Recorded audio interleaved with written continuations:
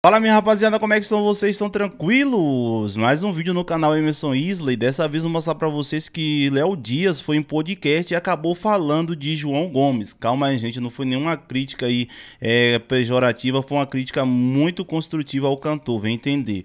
Mas antes mesmo de um assunto, eu gostaria de pedir pra você que tá chegando aqui agora, primeiramente seja bem-vindo ao nosso humilde canal. Não se esqueça de se inscrever aqui embaixo, ativar o sininho de notificações e é claro, deixar o seu like para você ser lembrado toda vez que eu postar conteúdos novos novos aqui. Lembrando a todos que este é um canal de entretenimento onde eu trago notícias, polêmicas, histórias, curiosidades e muito mais.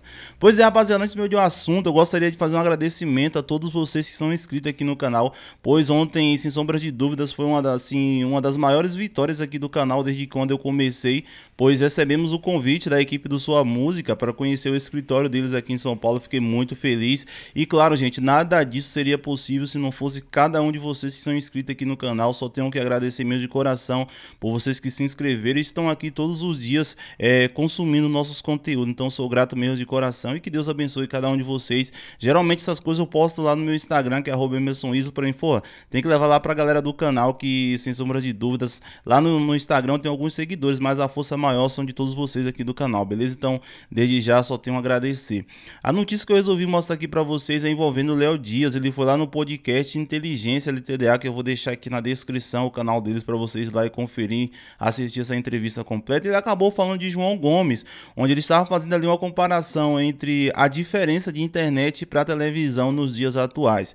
Ele fez assim, tipo, uma crítica construtiva a João Gomes, eu achei muito interessante. Falou muita verdade nas falas dele. Onde ele estava falando o quê? Que João Gomes ele estourou na internet e conseguiu aí mais de 2 bilhões de streams em menos de 5 meses aí do seu primeiro CD, onde ele falou agora a importância da televisão na vida de João Gomes, onde ele tem que aparecer nesses programas de televisão para trabalhar mais as suas imagens. Gente, por incrível que pareça, nós que somos do Nordeste, acredito que 90% das pessoas que costumam assistir o canal aqui é, ou são do Nordeste ou tem algum vínculo com as pessoas do Nordeste. As pessoas conhecem bastante a imagem de João Gomes, porém, em outras regiões do Brasil, nem, não são todas as pessoas que conhecem a imagem do cantor, conhecem as músicas, mas a pessoa em si não conhece. Então, Léo Dias falou uma parada assim que eu achei muito interessante, não tem nada a ver com polêmica, só entreter mais vocês aqui em algo sobre curiosidades e eu resolvi compartilhar aqui, veja. Mais pro geral e, e, e, o que a gente faz aqui cada vez é mais nichado. Tem um cara que fala com isso. A televisão nunca vai, não vai ser mais nichada, né? Ela vai tentar falar com o máximo de pessoas possível. Não, eu acho que vai ser nichada sem querer ser nichada. É? A Globo nichada? Será? Olha só, eu acho que a elite intelectual já não assiste mais televisão. Assiste é, um pouco da B, forçando a barra, é, CDE. Tá. É, acima de 45 anos. Ah, esse, é? Esse Envelheceu é a audiência, assim? É, é, o público de televisão. Caramba. É, por isso que alguns personagens que bombam na internet não acontecem na televisão. É. Porque o público não conhece. E, e, tentam fazer isso sempre, né? Sempre. Tá bombando e leva pra televisão e não rola. Então, assim, o que que bomba na televisão hoje? Que aí é aquele cara, é aquela, aquele produto que, que bomba na internet e faz o cross com a juventude. O Whindersson é esse cara, Não, que é reality show. Ah. A, a, a população, aí você ganha. A, você, a população procura a televisão por duas razões. Duas, a população, eu digo, mais jovem Sei. e de maior poder aquisitivo. Por duas razões. Uma, reality show. Duas, futebol que tá indo pro streaming também. É, cara, agora já tô assistindo Porque, pro streaming. E outra coisa, é. Quando há grandes fatos é, é, jornalísticos. Maria Mendonça. Uma catástrofe. Caiu a, caíram as torres gêmeas. É verdade. Aí você aciona. Primeiro lugar que você vai é pra televisão. Mas por que, que não, vai, não continua na internet? Porque a internet não tem aquela notícia que fica online o tempo todo. Ah. Você tem escrita, você quer ver imagem, sabe? Você quer vídeo ao vivo, sabe? Você quer isso. O ao Entendi. vivo, quando é uma, a Marília Mendonça, o avião caiu. Eu vou ligar, eu liguei a primeira coisa É, também. É todo verdade, fez, é. A audiência fez assim, ó. É verdade. Mas você fica sabendo, ó, primeiro pelo, pelo é. celular.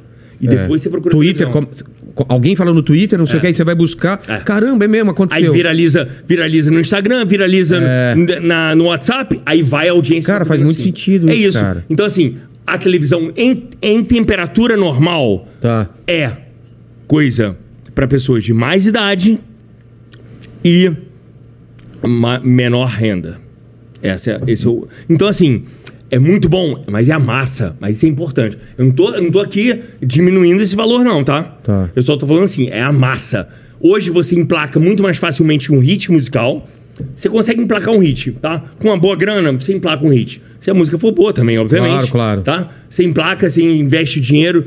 Uma boa música, você investe umas 700, 1 milhão de reais. Você consegue transformar isso num hit, tá? Através de rede social? Rede social, Spotify, é, TikTok, E- YouTube. YouTube. Você você engaja botando dinheiro ali tudo, você consegue, tá? Tá.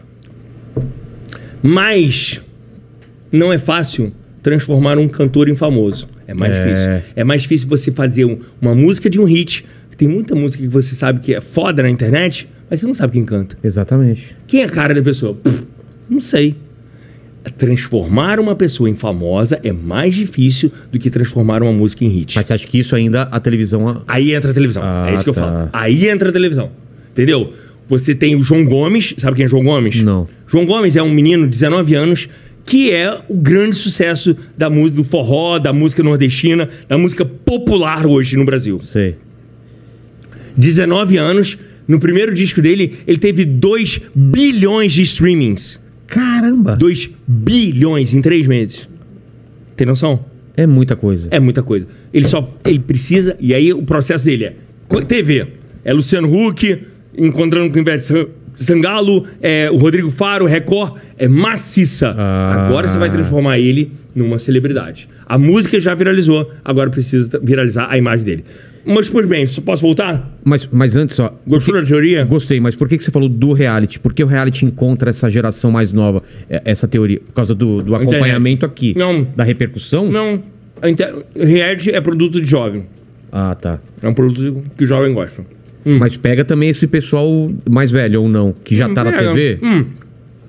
Mas o pessoal mais velho não sai da TV Pois é, rapaziada, eu achei muito interessante isso que o Léo Dias falou. Que assim, rapaziada, é, é- é tudo, cara, que ele falou. Porque geralmente você pode olhar Thierry, ultimamente, por ele fazer parte ali da Work Show tal, por ele estar em um grande escritório. Não que a Top Event seja um grande escritório, mas eu tô falando que a Work Show, é, sem sombra de dúvida, acho que na atualidade, com certeza, é um dos maiores escritórios do Brasil. Todo dia Thierry, ele tá na televisão. Então, assim, é, outras regiões do, do, do Brasil, como lá pro lado do sul tal, a galera conhece bastante a imagem dele. Já a imagem de João Gomes, acredito que ele, ele precisa é, trabalhar mais um pouco. Não é fácil, tá, gente? O cara ir para programa de televisão, porque geralmente algumas pessoas veem um artista tele, no, em um programa tal, pensa que é grátis, mas a maioria dos programas é, são pagos. Mas assim, João Gomes ele já participou de diversos, como lá no, no Luciano Huck, lá apareceu lá de Ivete Sangalo, participou do Altas Horas, participou lá do, do Rodrigo Faro. Então, assim, ele tá indo no caminho certo e acredito que daqui uns dias a imagem dele já vai estar bem familiarizada aí na população brasileira. Mas enfim, rapaziada, o que, é que vocês acharam aí da fala de, de Léo Dias falando sobre João Gomes? Deixa aqui embaixo nos comentários, porque o seu comentário ele é super importante. Pois é, rapaziada, esse foi o assunto de hoje. Muitíssimo obrigado por vocês assistirem até aqui. Eu espero vocês no próximo abraço e até qualquer momento.